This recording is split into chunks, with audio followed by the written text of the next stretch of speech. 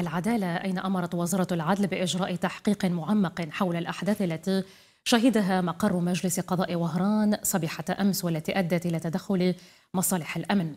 وحسب بيان الوزارة فقد أمر بإجراء تحقيق معمق لتحديد المسؤوليات ومنع تكرار مثل هذه الأفعال التي من شأنها المساس بسمعة القضاء. حيث عبرت الوزارة عن أسفها للأحداث كما طالبت بضرورة تغليب لغة العقل والحوار في سبيل الوصول إلى حل يرضي الجميع.